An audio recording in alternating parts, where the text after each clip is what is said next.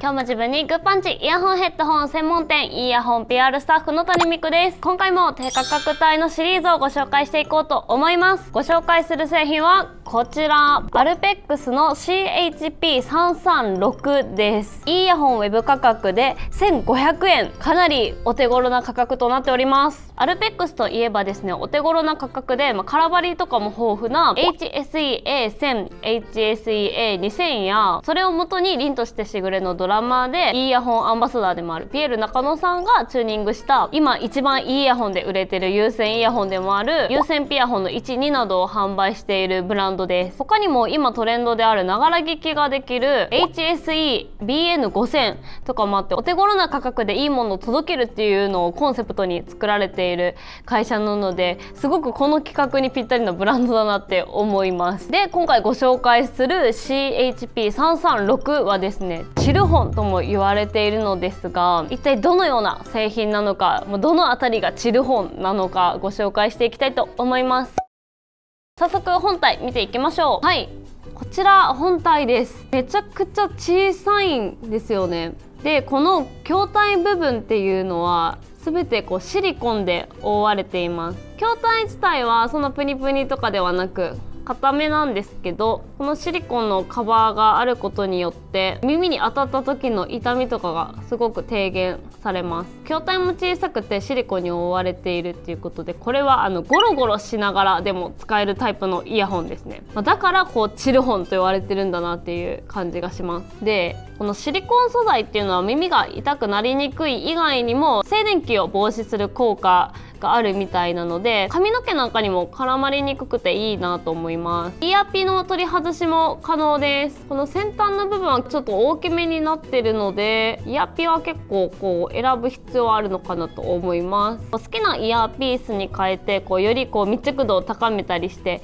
こうゴロゴロ用にカスタマイズするとかいうのもいいなと思うポイントでした。空張りなんですけど空張りはこちらのレッドとブラックホワイトブルーの4色ございます。でケーブルの部分がこちらのレッドとブラックが黒色のケーブルでホワイトとブルーが白色のケーブルがついてます。ケーブルの長さが120センチなのでまあケーブルの長さは一般的なケーブルと同じです。でさらにリモコンもついております。なので通話も可能ですね。操作方法はここの真ん中のボタンワンプッシュで曲の再生停止。通話の受話終話。真ん中を2プッシュで曲送り。真ん中のボタンを3プッシュで曲戻しが行えます。通話も可能ということで、まあ、ゴロゴロしながらゲームしながらお友達と通話するっていうようなシチュエーションでもお使いいただけるのでかなりお家用のイヤホンとしては重宝しそうですね。で付属品がイヤーピース3種類ついております。でサイズが XSSM の3サイズみたいで大体のイヤーピースだと SML って付属することが多いんですけどこちらのイヤホンには XSSM の小さめのサイズで付属しております。特に女性の方とか耳の小さい方だとこう S サイズでも大きいなっていう方の声とか結構聞くんですけどそういう耳の小さい方にはすごい嬉しいポイントですね。はいで実際装着していきたいと思います。おお見えますかね？この赤い部分がイヤホンなんですけど筐体がめちゃくちゃ小さくてこうすっぽりと耳の中に収まっちゃいますね。このシリコンの部分がこう耳に沿ったデザインなので耳から出っ張る部分がないんですよね。なんかこういう感じのちょっと耳の中の部分にこう沿わせたようなこう耳の形にこう沿わせたようなカーブのあるようなデザインになってます。このカーブがあることによってこう耳にすごくまとわりつくって言いますか耳の中に入れ込むようなデザインになってます。でだからそれによってこう横になってもイヤホンに干渉する部分が全くないのでゴロゴロとこう横になりながら聞くにはすごくもってこいのデザインイヤホンですね。かなりこうチルタイムにはぴったりのイヤホンですね。密着感もやっぱすごいんで遮音性も高いですし没入感っていうのもすごく感じやすいと思います。手で結構しっかりめに押さえてもその当たる部分とかもないですし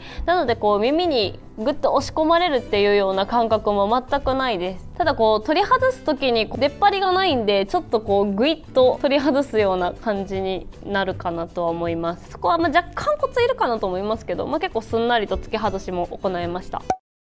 気になる音質レビューしていきたいと思います。中低域が結構しっかりしていて太めのサウンドでした。全体的に角はなくて丸めのサウンドで迫力は結構あるんですけど刺さりとか聞き疲れとかはしにくいような丸みのあるサウンドです。チルホンっていうんで結構すっきりとしたサウンドなんかなって思ったんですけど長くゆっくり聴いていられるっていう面でチルホン。なんですね。派手で元気な音楽っていうよりはやっぱりこうチルな音楽との相性が抜群でした。実際私はバウンディの踊り子を聞いてみたんですけど結構こうふんわりとしたふわっとした感じの音楽なんですけどイントロからずっとこうベースの部分が目立ってるような感じの曲調なのでよりこう低域っていう土台の部分楽曲の土台の部分がこうしっかりと聞き取りやすいっていうのはふんわりとした中でもこうメリハリがあってすごくこうまったりと心地よく聴けました。音聞いてよりこうまさにチルホンだなって思いました。あとボーカルとか声の部分も結構太く出てるので映像とか見るのにもいいなって思いました。で他にもこう空間が結構広い感じの音ではないんですけど低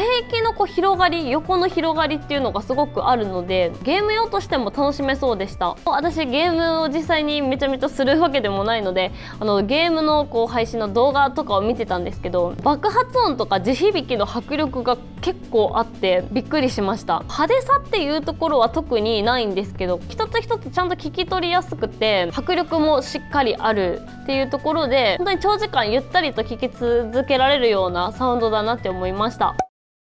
まとめです。お家でゆるく使いたいなっていう場面には本当に最適なイヤホンだなと思います。まさにチルタイムにぴったりなイヤホンです。値段もお手頃価格なので一つ持っておこうかなって思った時にもこう手の取りやすいっていうところはすごくいいなって思いました。あと通話機能もちゃんとついてるので普段ゴローっとしながら使いつつもリモートワークとかでは会議とか電話とかでお仕事用としても使えるのでお家の中だけでもいろんな場面で活躍できるるイヤホンだと思います。こちらの製品はイヤホン全店でもご視聴できますので気になった方はぜひご視聴してみてください。またいいなと思った方は概要欄に web ページを記載しているのでそちらからご購入の方もお願いいたします。それでは今回のお相手は谷ミクでした。よかったら高評価とチャンネル登録お願いします。バイバイ。